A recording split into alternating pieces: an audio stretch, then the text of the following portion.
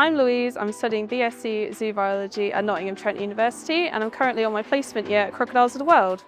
Crocodiles of the World is the UK's first crocodile zoo and it houses most of the species of crocodiles. We also have some mammals and some reptiles as well as some tortoises. We have a lot of visitors all year round educating the public on conservation and fostering a love for the crocodiles of our world.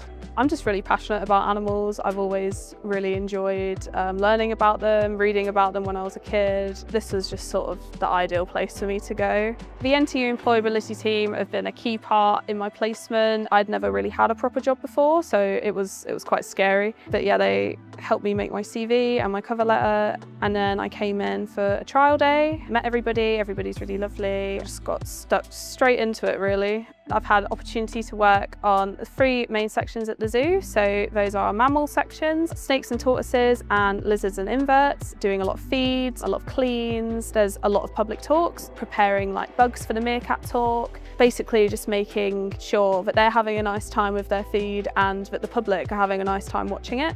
Zoo biology has definitely equipped me for a lot of things on placement with like animal nutrition and like behaviour observations. But there are definitely things that I've learned here that I otherwise wouldn't have learned if I didn't go on placement. I feel like I've gotten a lot more confident with talking to people. I've had the opportunity to help train a lot of the volunteers that come in, but then also animal handling. In terms of my future, this placement's probably one of the best things I could have done, not only for my career, but also socially. If you're thinking about doing a placement, I'd say 100% go for it. I definitely haven't regretted it. Uh, the experience has been unmatched, so definitely go for it.